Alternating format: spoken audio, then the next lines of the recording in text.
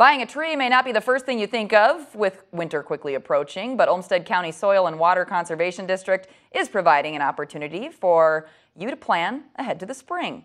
It has close to 20,000 trees available for purchase right now. Today is the first day people can pre-order trees to be picked up in the spring. There are 32 different kinds of trees that are being sold this year. The SWCD has been selling trees for multiple years and aims to beautify the landscape, provide additional habitat, and give protection against blowing snow. The trees sold are native to Minnesota and are around two to three years old. It's kind of a special sale. Like I said, they're conservation grade trees. You get a tree that's about 12 inches to maybe 18 inches or so tall. Um, they're young, but they're also um, affordable and economical to put in the ground. Now you can't just buy one. If you're interested in purchasing a tree, you must order 25 trees at a time.